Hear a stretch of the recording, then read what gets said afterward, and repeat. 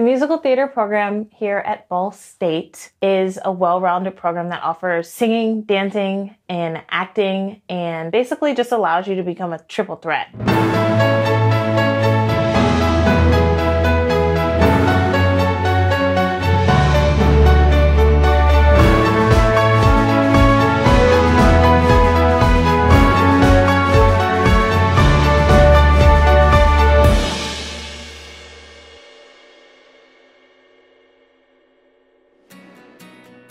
As a musical theater major at Ball State, we have acting studios, we have voice lessons and master class, and then we also take dance classes through the dance faculty as well. So we do get a lot of individual guidance through each area of musical theater, so it's very helpful in becoming a well-rounded performer.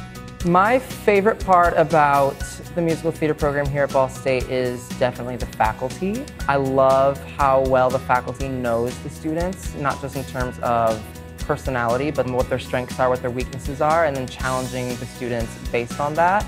My favorite thing that I enjoy about this program is masterclass. One of my biggest challenges was going into it not knowing that it was a safe environment. But when I went in there and I performed, they all tried different exercises with me and what I lacked, other people helped pick up and what I'm strong in, I helped other people, you know, grow. So it's like we kind of bounce off of each other, which is really nice. It's a very rigorous program. It's not just singing, acting, and dancing all day. You take multiple liberal arts courses, multiple theater history courses, script analysis courses. I have class every day, five days a week, from about 9 a.m. till about 5 or 6 p.m.